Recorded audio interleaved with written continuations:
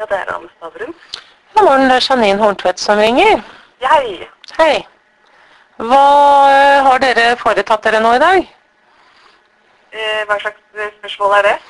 Eh, ja, jeg sendte dere jo en mail alle sammen, din sjef og deg og Mehus og Rumin i dag torsdag, natt til i dag 24. april. En, en purring på, på den stygge saken som ble uavklart før påske. Du har veldig mange saker, så hvilken av de tenker du på? Nei, nei, det, det står jo i mailen jeg sendte dere natt til i dag, at det var nekt av nødhjelp. Altså det var nekt av uh, livsopphold for nødhjelpssatser uh, ut hele april for en diabetiker eh, som har mange tilleggssykdommer. Ja. Men er det slik at du har klaget på dette til sosialtjenesten? Har du ikke lest mailen som kom inn fra meg natt til i dag? Jeg har registrert i mottatt. Jeg har vært borte eh, pga. sykdom, så det er mye som ligger her. sånn at eh, Så det er første dagen din i dag, eh, tors første dagen din i dag. torsdag 24. april etter påske. Ok. Og så eh, Det er jo sånn at eh, hvis du er misfornøyd med satsen, så kan du klage på den. Jeg har jo gjort det til dem og skrevet at eh, det var for lite, og jeg, og jeg står uten mat og midler siden da tirsdag 22. april etter påske pga. at jeg fikk den altfor altfor lave satsen. Jeg har ingen midler, og nå har det gått to dager og uten noe mer penger, uten nødhjelp, uten noe ting, og jeg har skrevet spesifikt jeg har stått fullstendig uten mat og midler siden tirsdag 22. april. Det står i mailen jeg sendte deg i dag. Men eh, da er det øh, øh, Nå skal jeg bare finne saken her.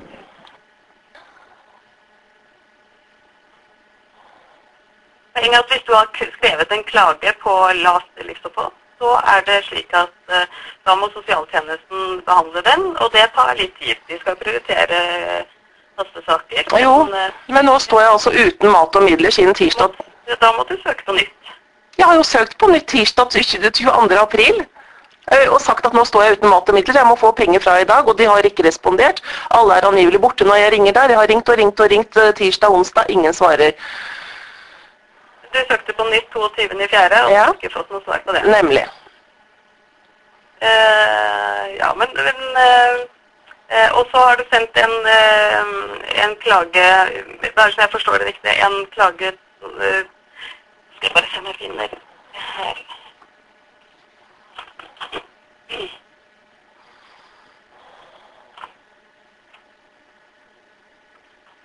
Jeg har lagt alle mailene dine til registrering, skjønner du at da går det til posten. Eh, men eh, nå skal jeg bare se her. Eh, Skal vi se.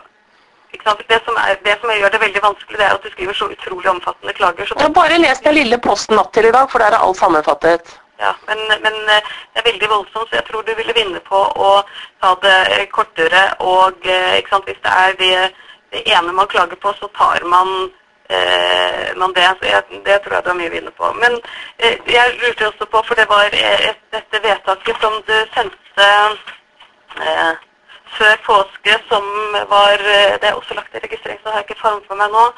Men hvor det var eh, et av, Du hadde søkt om nødpenger, og så var det to- 22. i andre, mener jeg det sto på det vedtaket. Så eh, hadde du klaget på Det har du også klaget på, ikke sant? Ja, det fikk jeg aldri svar på, eller aldri omgjort, og jeg sto fem dager uten penger den gangen i februar, ja. Mm. Ja. Men, eh, men jeg går ut fra ikke sant? For du har jo sendt alle disse klagene til sosialtjenesten. Ja. Ja, og da må jo de svare på disse. Jeg skjønner jo at du har problemer med å få svar, og samtidig så er det slik at når du skriver så omfattende store klager, så tar det også veldig lang tid. Nei, jeg skrev et lite notat nå som jeg har flettet inn i de eh, ja, 20 linjene jeg skrev til dere natt til i dag. Og da skrev, skriver jeg det til dere også, at eh, jeg tilkjennega for sosialkontoret på tirsdag 22. april eh, for to dager siden at jeg sto fullstendig uten mat og midler. Ingen har vært å få i tale der. Og dermed så skriver jeg at jeg ber dere ombudet ta kontakt med sosialtjenesten i dag når du kommer på jobb, og understreke overfor dem at liv og helse står i fare. For jeg er diabetiker, og såpass lav sats som de ga meg, vil ikke være forsvarlig. Og nå er det snart helg igjen.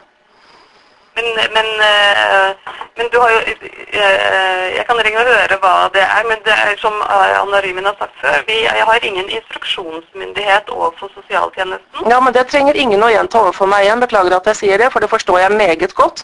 Men så er det også sånn at dere selv har sagt at, at dere har erfaring med at mange, mange, vedtak blir omgjort når dere kommer inn i bildet. Så at dere legger deres tyngde og, og ringer der, det hadde vært veldig fint. For de kan ikke nekte folk eh, nødhjelp og uten tilstrekkelig mat og midler når man er syk. Men, men, hvis det er sånn at man har fått eh, eh, hvis man har fått penger, og så står man uten penger og får nødhjelp eh, en periode, så er det jo vanlig klagesaksgang, ikke sant? Og, og det er Fylkesmannen er etter min erfaring de er ganske strenge. Det er, det er ikke så veldig mye mer å hente. selv ikke for diabetikere, men det er jo sånn at hver sak skal vurderes konkret og individuelt. Som jeg skrev til deg natt i dag, at jeg kan ikke leve av 70 kroner dagen. Det skrev jeg til dem, og det setter liv og helse i fare. Og som både dere og sosialtjenesten kjenner til, så kom ambulansen sist et annet sosialkontor utpynte meg på såpass lite beløp over såpass lang tid. Pengene er brukt opp, jeg har stått uten mat og midler igjen i to dager. Og da blir det ikke noe fylkesmann og klageinstans når jeg har diabetes og sitter her uten mat og penger. Det blir helg. Jeg får ikke penger, det er ikke den 30. før på tirsdag eller onsdag neste uke. Eh, men jeg, for å si det sånn, jeg har hatt andre saker med diabetikere hvor det også er liksom på 70 kroner, og det har ikke vært en eneste krone ekstra å få fra fylkesmannen eh, i sånn måte. sånn at eh, Altså 70 kroner er jo minstesatser. Jeg snakket med Anna Rymin før, og hun har sagt til meg at det er absolutt minste minimum, men sosialtjenesten kan velge å gå opp på det beløpet hvis, hvis det helse og, og, og, andre ting tilsier det. Ja, og da er det jo sånn at må de, de må behandle den klagen, og hvis det ikke Eh, får, eh, får med oss, så går jo den videre til Fylkesmannen, som også Du forstår at jeg har stått uten mat og penger nå i to dager? Det er det som er saken her. Jeg er diabetiker. Det er kun de forholdene som er viktige nå. Så trenger jeg ikke alt det andre utenomsnakket, og jeg er ganske forferdet. Ja, men, øh, øh, men hvis, du, hvis du står uten penger, så får du søke om ny nødhjelp på nytt, da. Jeg sier jo jeg har gjort det på tirsdag. Ja, ja, men hvis du øh, Eh, og når er det du får neste utbetaling, da? Ja, Jeg sier jo at den 30. blir på onsdag. Da blir det livsopphold for eh, mai. Ja. Og det er jo mange mange, mange dager til. Altså, Det er jo nesten en uke til. Ja, ja, nei, men jeg skal høre med dem. Ja, greit. Ha det. Ringer du meg tilbake, eller sender du meg mail, da?